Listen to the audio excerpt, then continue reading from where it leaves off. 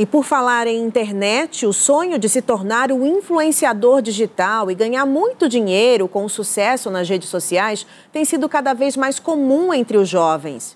Mas, segundo psicanalistas, a busca constante por fama e seguidores também pode levar ao aumento da ansiedade e ao adoecimento mental. Entre uma live e outra, como comentarista de games, Suelen começou a ganhar seguidores na internet e logo virou uma gamer influencer.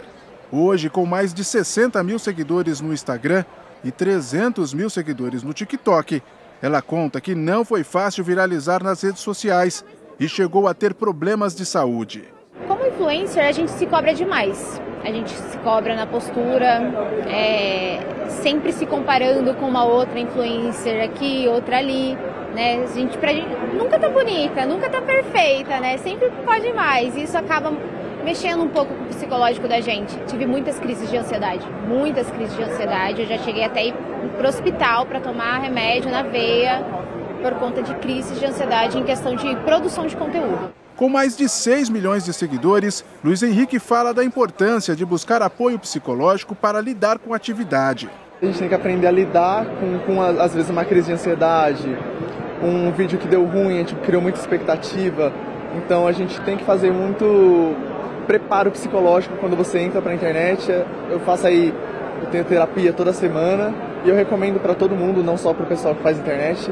Terapia é bom às vezes para botar a cabeça em ordem. Alcançar seguidores através do conteúdo produzido é o principal objetivo dos influencers. Mas, segundo os especialistas, essa é uma métrica inconstante.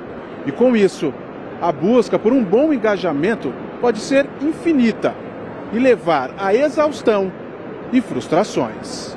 Porque eu sou incompetente, porque o meu conteúdo é ruim, porque ninguém gosta de mim.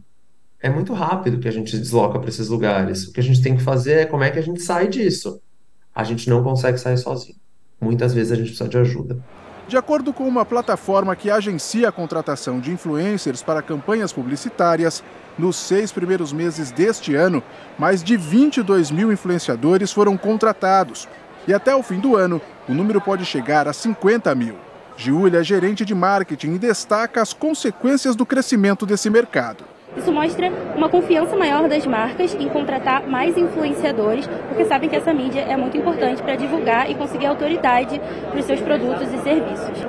A sua fonte segura de informação cada vez mais perto de você. Baixe agora o aplicativo do SBT News.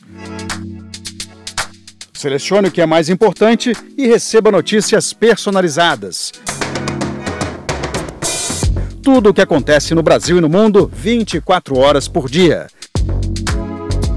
A informação em tempo real na palma da sua mão.